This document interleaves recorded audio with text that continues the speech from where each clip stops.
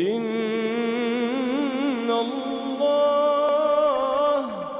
إن الله لا يظلم الناس شيئا ولكن الناس